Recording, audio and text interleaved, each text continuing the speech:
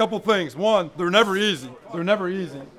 But way to battle back, get yourself back on back on the track. Defense in four minutes to get the ball back. Offense to go down and get the field goal. Break the leg.